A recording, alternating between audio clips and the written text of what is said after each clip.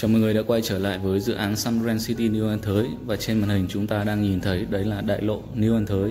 Hôm nay thì mình sẽ giới thiệu tới quý anh chị một cặp shop house, một căn góc và một căn kề góc. Đây là một cặp mà shop house xẻ khe hay còn gọi là khu nhà phố thương mại sở hữu vĩnh viễn tại khu đô thị Sun Grand City New An Thới. Ở đây thì chúng ta có một cặp shop house là căn AT25 và AT27 là một cặp shop house với à, một lô đất là 105 mét vuông. Như chúng ta đang nhìn thấy trên màn hình thì à, căn góc và căn áp góc.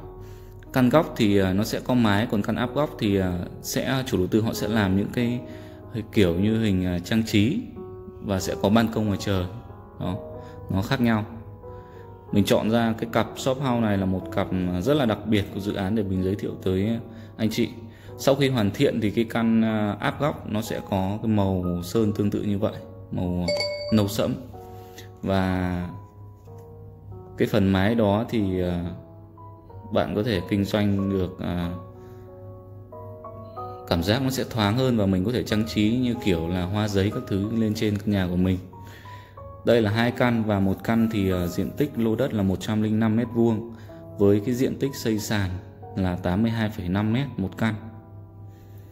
Đây là đại lộ New An Thới, con đường uh, rộng 36 mét, con đường uh, trục huyết mạch tại dự án Sun Grand City New An Thới.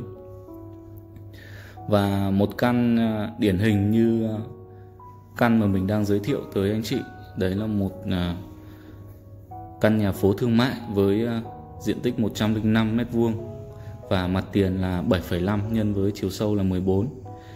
À, phía trước căn nhà sẽ là một à, vỉa hè rộng 5 m và căn nhà đó sẽ thụt à, trước khoảng 2 m thì à, vỉa hè sẽ rộng khoảng 7 m. Rất là rộng. Và đây là một cặp shop house mà mình thấy rất đẹp. Cặp shop house mình có gọi thể gọi là cặp shop house xẻ khe khi cái căn góc kia chính là căn xẻ khe và cái khe đó thì chủ đầu tư họ sẽ trang trí cảnh quan và nó cũng là cái khu mà đi bộ từ cái cái, cái phía dãy sau. Đấy là vậy dãy S1 là khu vực công viên Ceta đi ra cái trục đường lớn này. Và đây là hai căn shop house nằm trên đại lộ New An Thới. Phía ngoài kia chính là cái đường cao tốc An Thới Cửa Lấp. Kết nối ờ, từ An Thới Cửa Lấp thì sẽ vào đại lộ New An Thới này và cái đại lộ New An Thới này là trục chính của dự án Sun Grand City New An Thới kết nối ra thẳng ga đi cáp treo Hòn Thơm và tổ hợp vui chơi giải trí Hòn Thơm Nature Park, Sun World Hòn Thơm Nature Park.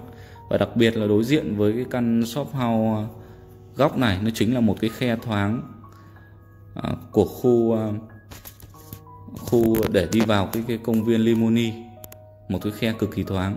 Và đường này thì sẽ đi ra ga cáp treo và anh chị nào đang quan tâm đầu tư về căn nhà phố sở hữu một cái mặt tiền 7 mét rưỡi nằm trên đường đại lộ lớn nhất dự án Sun Grand City New An Thới thì đây là một trong những à, cặp shop house một trong những cặp shop house đẹp nhất của dự án với những vị trí như mình đã nói trên à, đoạn trước clip.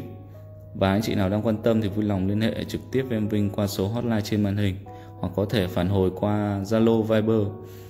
Mặt tiền của căn nhà thì à, sẽ là 7,5 mét thôi. Tương tự như một căn điển hình khác. Đây là một căn à, căn thường Nhưng mà nó sẽ có cái khe bên hông gọi là căn xẻ khe.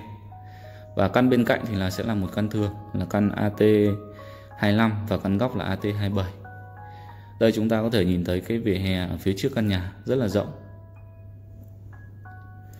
Vỉa hè này rất rộng Và con đường đại lộ là cái mặt đường săn ờ, đại, đại lộ New An Thới này sẽ rộng 26 m mỗi bên vỉa hè 5 m là tổng sẽ là đại lộ 36 m à, rất rộng. Ngoài ra thì ờ, một vỉa hè rộng và nằm trên trục đường chính và đối diện tức là nhìn trực tiếp từ cái căn nhà căn góc này sang thì sẽ là ờ, một cái khe thoáng để đi vào khu công viên Limoni và ngay bên cạnh căn nhà này cũng là một cái khe thoáng để đi vào công viên Seta. Đấy là cái điều đặc biệt của căn shop house góc AT27 này. Phía sau là khu vực công viên Seta, công viên lớn nhất của dự án. Đó có, có biểu tượng à, cánh cổng. Và chủ đầu tư họ thiết kế rất là tinh tế, đấy là họ đặt cái hố ga này ở bên chỗ cái chỗ cái xẻ khe này. Phía trước à, các cái căn nhà không hề có một cái hố, hố ga nào cả nó rất là tinh tế và tỉ mỉ trong những cái chi tiết nhỏ nhất. Ở đây thì chủ đầu tư họ đã trồng cây rồi, cây nhỏ nhỏ. Đấy, phía trước căn nhà thì nó sẽ đối diện với cái khe để đi vào công viên Limoni và cái đường này là đường đi bộ. Cái khu tiểu cảnh để đi bộ.